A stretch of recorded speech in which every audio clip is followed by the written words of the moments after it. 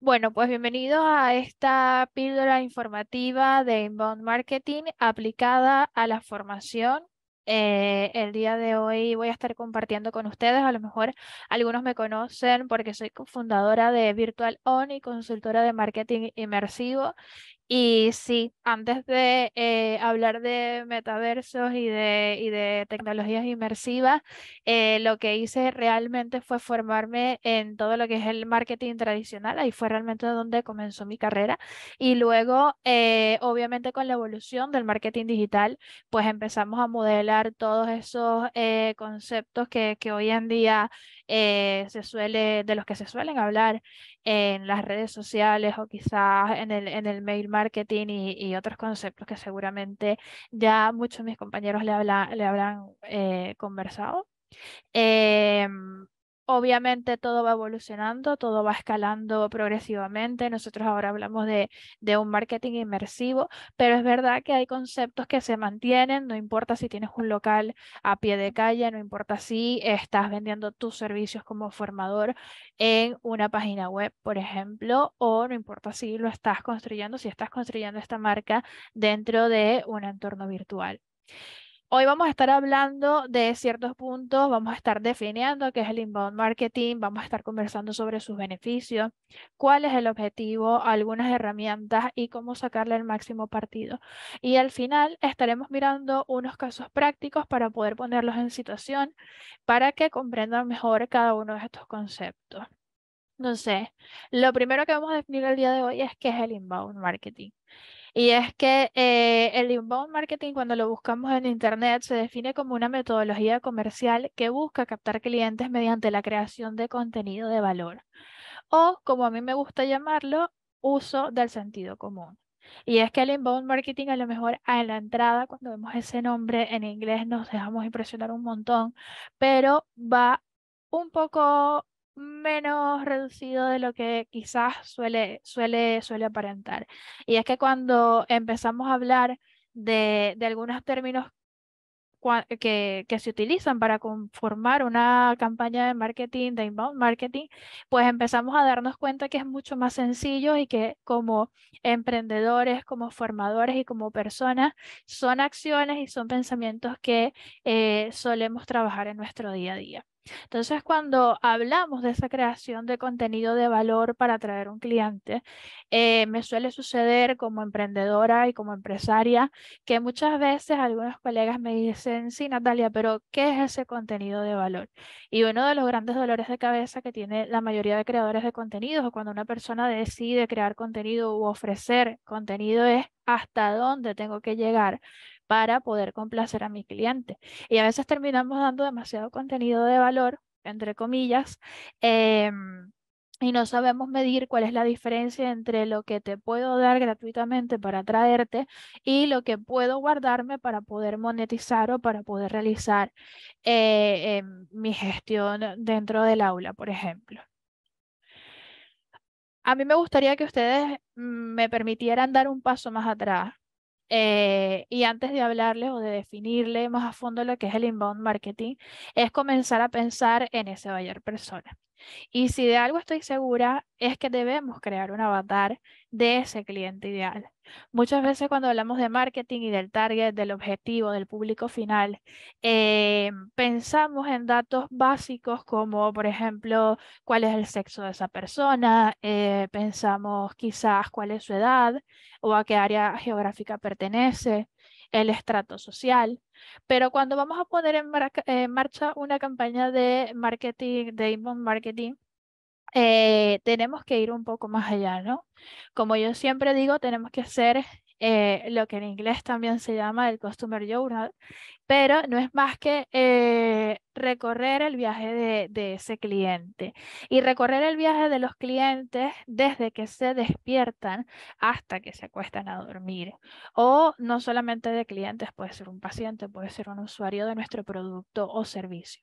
¿Por qué digo esto? Porque a medida que vamos recorriendo ese, ese, mm, camino de ese cliente, cada, que, que lo vamos acompañando y que vamos comprendiendo cuáles son las acciones y las decisiones que va tomando en su día a día, empezamos a comprender realmente cuáles son esos canales de comunicación que podemos eh, utilizar y aprovechar para atraer a esos clientes o a esos usuarios a nuestro... Eh, eh, a nuestro entorno, a nuestro punto de encuentro, ¿no? a nuestra, o a nuestra tienda o a nuestro eh, marketplace, etcétera, etcétera. Entonces, yo siempre pongo un ejemplo que es una tienda de deportes. Imaginémonos que yo, Natalia, tengo una tienda de deportes. Esto no es ningún sponsor, es simple casualidad. Pero imaginémonos que, por ejemplo, tengo una tienda de deportes y yo estoy comenzando a pensar cómo hago yo para atraer a esos clientes a mi tienda. Entonces sería un poco descabellado que yo tomara una decisión arbitraria y pusiera publicidad, invirtiera un presupuesto de publicidad, quizás en una feria de comida rápida dentro de un centro comercial. Que ojo, se han visto casos. En Perú, por ejemplo, hace unos tres o cuatro meses, un gimnasio se puso justo enfrente de una tienda de KFC y em, posicionó todas las caminadoras eh, viendo hacia la hacia la fachada de KFC. Pero estos son casos muy puntuales de marketing que pues se hicieron virales en TikTok, empezaron a grabarlos, mucha gente empezó a ir para, para el lugar eh, y, y le funcionó la estrategia, pero son casos, como les digo, muy puntuales. Normalmente, cuando tú estás pensando en montar un centro de alto rendimiento o un gimnasio, tú lo primero que deberías hacer es identificar dónde se está eh, desenvolviendo ese cliente, qué es lo que está haciendo. Y yo siempre digo que si a mí me tocara montar una tienda de deportes en, en Tenerife, Particularmente lo que haría sería ubicar dummies publicitarios en zonas donde yo sé que hay personas haciendo ejercicio. Tampoco quiero decir que voy a poner dummies publicitarios o voy a poner publicidad dentro de otros centros deportivos o otros centros de alto rendimiento. Lo que yo haría es sentarme a pensar dónde está la gente que está haciendo ejercicio pero que no lo está haciendo dentro de un gimnasio. Hay una zona muy famosa en la laguna donde hay un parque donde se reúne la gente siempre en horas puntuales a hacer ejercicio, siempre están trotando, haciendo crossfits, dominadas, pues yo diría maravilloso. Pues ahí es donde yo voy a poner mis dummy o donde yo voy a repartir publicidad, quizás organice algún ejemplo y empiezo em, a, a poder conectar con esas personas de alguna manera para traerlos a mi, a mi tienda, ¿no? Eh, luego también es muy importante que ese recorrido del cliente no se quede justo en el momento donde está esa acción. Como les decía antes, podemos empezar a realizar ese recorrido con el cliente desde el momento en el que se despierta hasta que se acuesta a dormir. Porque si, por ejemplo, nosotros detectamos que nuestro cliente eh, se despierta y revisa el Facebook, que es lo primero que hace en la mañana, pues nosotros ya tenemos una idea de dónde vamos a invertir ese presupuesto de publicidad eh, digital. Ya sabemos que lo vamos a hacer en Facebook. Pero si por el contrario este cliente se despierta, no se conecta a ningún medio de comunicación durante toda la mañana, pero supongamos que esta persona vive en el puerto de la Cruz y tiene que trasladarse hasta Santa Cruz para poder eh, ir a trabajar o ir a, ir a formarse, etcétera, etcétera. Esta persona muy probablemente escuche radio o muy probablemente escuche eh, Spotify por las mañanas mientras está en la cola. También allí estamos identificando varios medios de comunicación. Uno de ellos serían las vallas que están en la autopista y otro sería pues determinar obviamente si está escuchando radio, hacemos una campaña de radio y si está escuchando eh, Spotify, por ejemplo, eh, podemos hacer campañas de publicidad dentro de Spotify todo este reconocimiento del viaje del usuario, de este viaje de este cliente, de, esta persona a la que nosotros queremos impactar con este inbound marketing, determina nos ayuda a determinar las necesidades del cliente y dónde podemos ubicarlo. Y es mucho más fácil poder determinar también cuál es el contenido de valor que vamos a entregar, en qué formatos vamos a crear ese contenido de valor y cuáles son los medios donde lo vamos a entregar. Esta imagen me la, he robado de una página web de marketing específicamente porque creo que han sido los únicos que han coincidido conmigo en que eh, las páginas web son como una pequeña flor, un botón, que están allí. Es como nuestro local comercial, es como nuestro espacio de formación, que está allí en un espacio físico, pero también puede estar en un entorno eh, digital. ¿Qué pasa? Que tanto Internet como la calle Castillo son medios muy, muy transitados y por allí pasa muchísima gente todos los días. ¿Qué tendríamos que hacer nosotros como emprendedores o qué tendríamos que hacer nosotros como eh, formadores que tenemos un espacio para em, recibir gente? Al promocionarnos deberíamos encontrar la forma en la que cogemos, captamos la atención de esas personas para que vengan a nuestra tienda para que vengan a nuestra página web, a nuestro marketplace. ¿Cómo lo hacemos? Pues a través de diferentes técnicas. En el caso, obviamente, del marketing digital, pues tenemos el social media, tenemos las búsquedas en Google, tenemos el email marketing, tenemos podcasts, ebooks, YouTube. Tenemos muchísimas referencias para atraer a ese público. Entonces ya aquí empezamos a determinar. Eh, utilizaremos posicionamiento SEO ¿Cómo? A través del blog, a través de enlaces. Podemos crear podcasts o canales de YouTube. Podemos crear boletines informativos. Mucha atención porque hoy en día muchísimos casos me he encontrado de usuarios que no desean recibir eh, boletines informativos directamente en sus bandejas de email. Y luego también tenemos pues las redes sociales, que esos casos entiendo que la mayoría conocemos cómo funciona. Y aquí es donde entramos en el inbound marketing, cuando ya tenemos todo esto previamente reconocido, cuando ya tenemos todo esto estudiado y tenemos todo esto eh, ya acentuado en nuestro subconsciente, pues empezamos a unir puntos y empezamos a unir ese recorrido del cliente donde deja de ser un extraño, se convierte en un visitante, pasa por un lead, se convierte en cliente y ya se convierte en prescriptor. Esto lo unimos a esas fases del inbound marketing, donde ya pasamos por una captación, pasamos por una conversión, una venta y una fidelización. Si se dan cuenta, cada uno de estos puntos van por fases y cada fase tiene su medio de comunicación particular.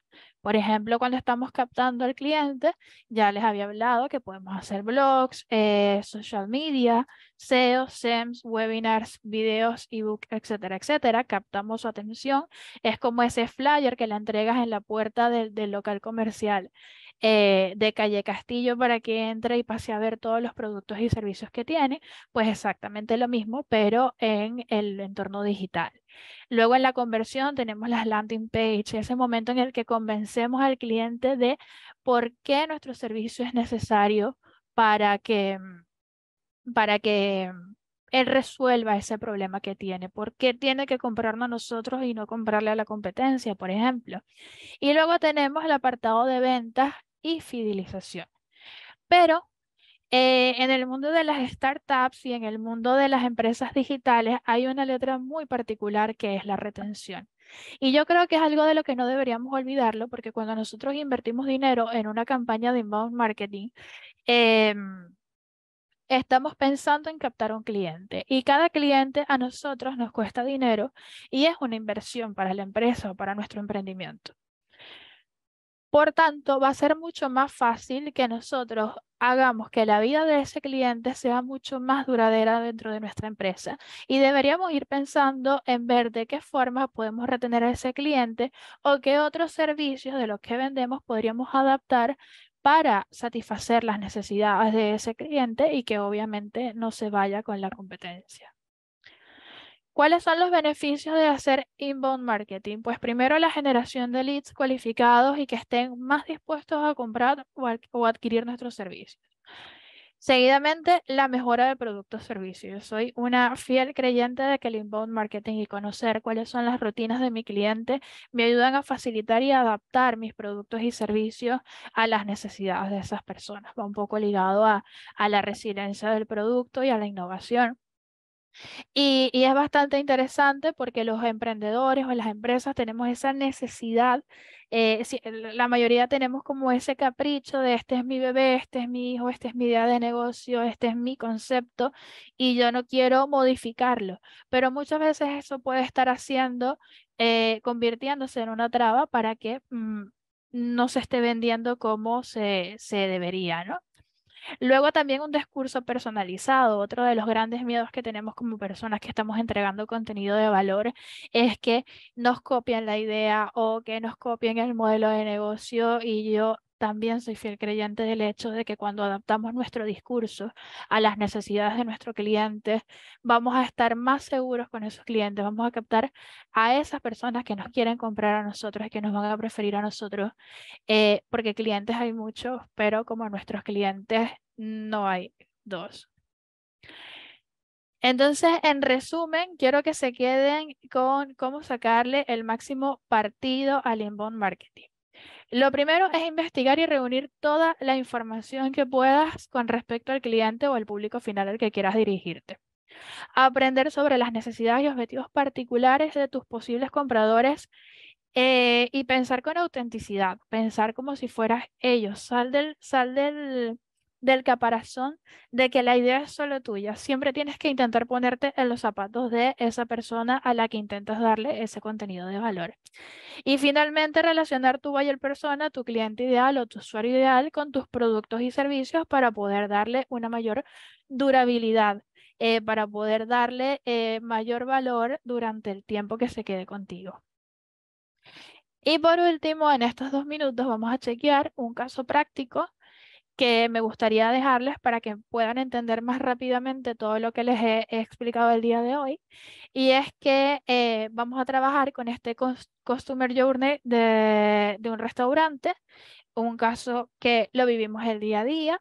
En la primera fase, que es la fase de descubrimiento, el cliente normalmente lo que hace es eh, hacer una búsqueda de algún restaurante para ir a cenar, normalmente en Google. Eh, luego cuando encuentra el restaurante que más le llama la atención, vamos a ir a ver las reviews. Por eso es tan importante que se trabaje en tener buenas reviews en los locales comerciales sobre todo. Luego busca si hay promociones existentes y la compara con otros menús y con otros precios. Y ya ahí empieza en la etapa de consideración. Cuando empezamos en la etapa de adquisición, que es la fase 3, solicita la reserva, confirma la mesa, hace una recepción, se le entrega la carta, realiza el pedido y ya luego tenemos un apartado de servicio que este es adicional ya específicamente, donde pasamos por el tiempo de espera. ¿Qué hace ese cliente, ese comensal en ese tiempo de espera? Eso también es muy valioso, en especial para los locales de restauración. Luego, la degustación del menú. Y por último, tenemos una quinta fase o última fase que sería la... Em, eh, comunicación del restaurante eh, y saber si realizó una crítica a este restaurante. Ya de aquí en adelante quedaría eh, el punto 6, que es el que yo pondría de retención, y sería mucho más fácil para nosotros comprender dónde este restaurante podría encontrar puntos de interés para aplicar campañas de publicidad y promoción a través de este embudo de conversión que hemos visto ahora mismo. Sin más que agregar y esperando, no sé si tengamos un plazo de preguntas y respuestas, eh, cualquier eh, información que puedan tener. No suelo hablar habitualmente de este tipo de marketing, pero cualquier información o duda pueden contactarme a través de LinkedIn o Instagram, arroba la chica del VR. Em, no sé si ¿Alguien tenga alguna pregunta?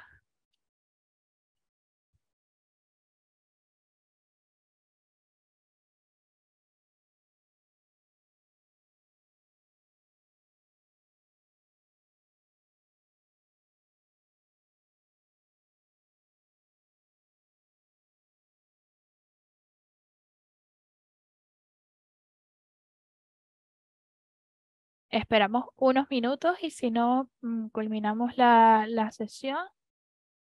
Sé que hay una gente conectada en directo. No sé si todo quedó claro o quieran otro ejemplo de, de cómo aplicarlo.